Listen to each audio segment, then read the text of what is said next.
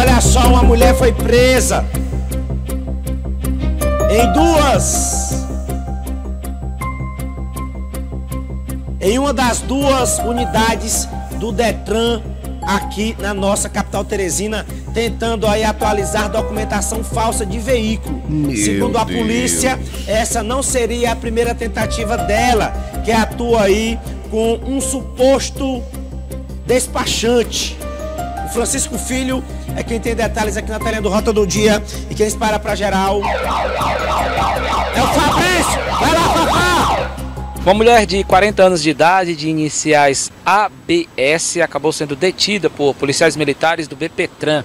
Ela estava no Detran, aqui em Teresina, em uma atitude suspeita, tentando fazer aí um procedimento lá mesmo no Detran.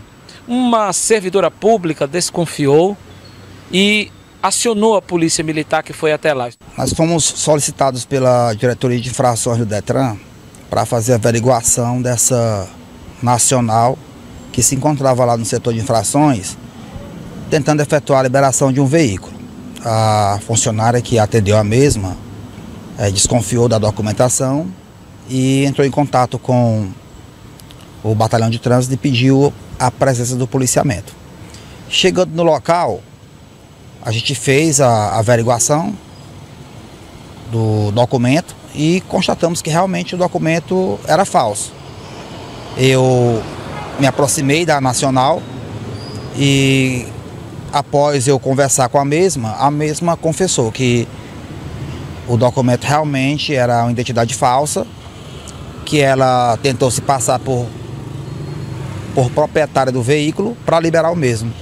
E que ela teria feito isso a mando de um suposto despachante que após ela liberar o veículo, ele iria repassar para a mesma uma quantia de 200 reais. Essa pessoa, infelizmente, nós é, ainda tentamos efetuar a prisão dessa pessoa, mas quando nós chegamos no local do combinado, ele já teria evadido do local.